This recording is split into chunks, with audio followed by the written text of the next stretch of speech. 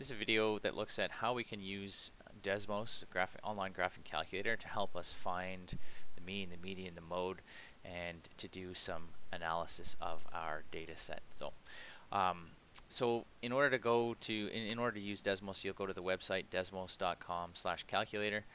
Um, I'll put a link to that so that you have access to it. So I'm going to show you a data set here. Let's see if we can resize my screen a little bit. So I, let's start with this data set here. It's a uh, fairly basic one. Uh, has eight elements in it. So in order to enter a data set, you would type in um, a name, give it a name, and we typically use capital letters for that. Uh, so if I wanted to type in a data set, I would just type here b equals one of these square brackets, which is usually found on your keyboard around the enter key.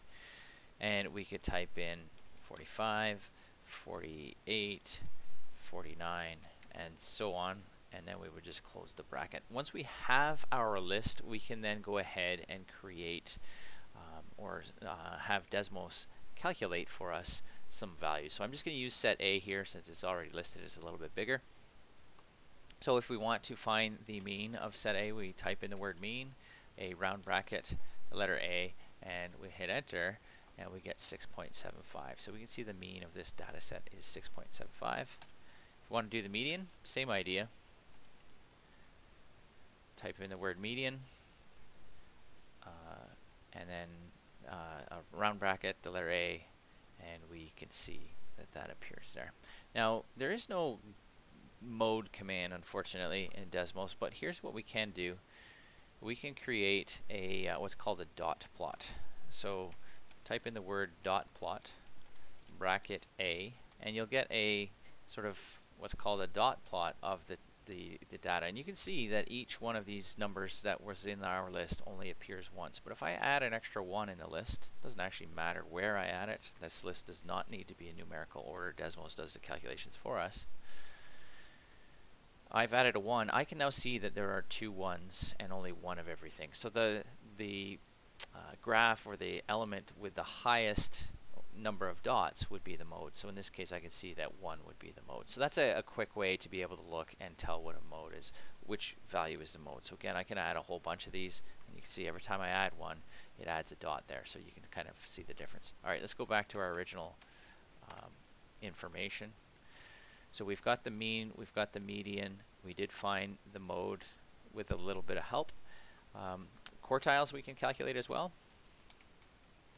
So type in the word quartile, tell it which set you're finding the quartile of. So we're finding this the quartile of set A, and we put a comma, and we tell it we want to find the first quartile. So the first letter indicates which set we're using, and the second letter indicates uh, which quartile we want. Of course, you do have to spell quartile correctly Don't forget there's an R in there. If I hit enter, I'll see that uh, the quartile is, uh, sorry, Q1 is equal to 3, and it shows up right here. Let's do the same thing for Q3. So type in quartile, bracket from set A, and now I want to find quartile 3, and we can see that we get 10.5. I'm going to hide this dot plot. I could get rid of it by clicking on the X, or I can actually hide it by just clicking on the uh, purple circle here on the left.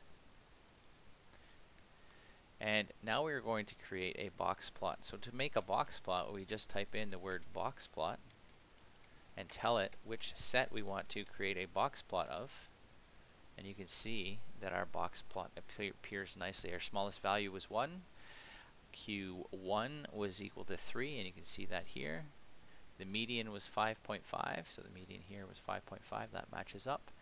Q3 is equal to 10.5, which you can see here, and the largest value in our set was equal to 15, which is over here. So that's how we can use technology to help us, especially for large da uh, data sets. You know, if, if I gave you a thousand pieces of data, you're not going to do the number crunching by hand there. You're going to use some technology. Uh, and ideally, I give it to you electronically so you can just copy and paste it right into here. So if you have a big set of data, you could just copy that data right into here. Type A equals or whatever the name of your set is, and then paste your data. Go about doing